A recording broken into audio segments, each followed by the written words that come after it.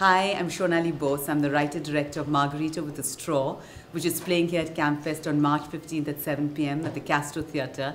I'm so thrilled and excited to be coming for that that I'm coming all the way from India. It's a 24-hour flight just for one day. So I hope to see you all at CAAMFest.